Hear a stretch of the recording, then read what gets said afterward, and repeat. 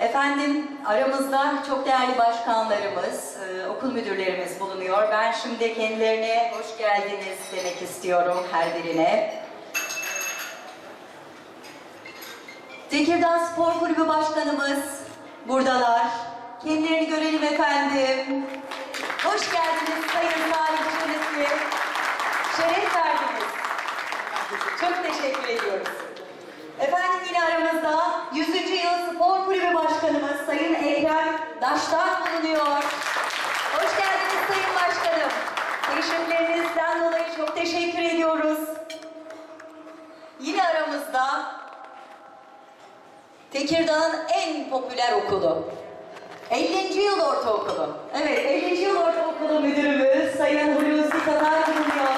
Sayın Okul Müdürüm, hoş geldiniz, şeref verdiniz.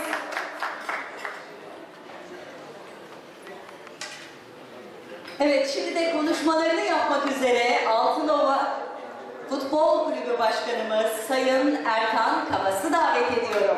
Alkış Biz bu Altınova Futbol Kulübü olarak bu yola çıktık. Misyonumuz, vizyonumuz ve değerlerimiz vardı. Yani üç ana konu başlığında bu işe e, yön verelim dedik. Önce vizyonumuz dedik.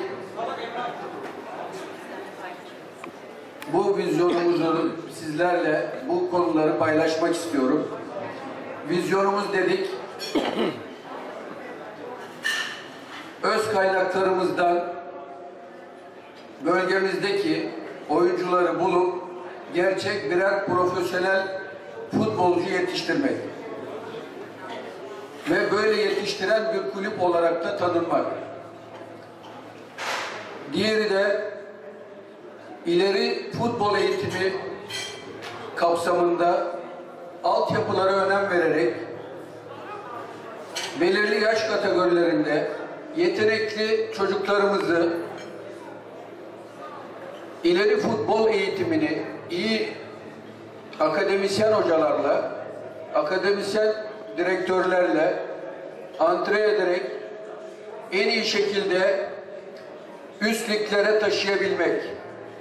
Tabii ki birinci hedefimiz Tekirdağ'ımız, Tekirdağ sporumuz.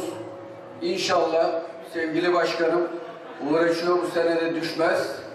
Ee, biz de onlara yıldızlar yetiştirip onlara takviyelerde bulunmak istiyoruz. Üçüncü konumuzda değerlerimiz. Değerlerimizde de saygı, sevgi, inanç, disiplin, davranış, bunları kapsayan değerlerimizin içinde çocuklarımıza en iyi şekilde eğitimi verip çocuklarımızı sadece futbol eğitimine bağdaştırmadan genel eğitimde vererek onları gerçek birer profesyonel, gerçek birer sporcu yapmak için çalışmalarımızı yapıyoruz ve devam ettiriyoruz.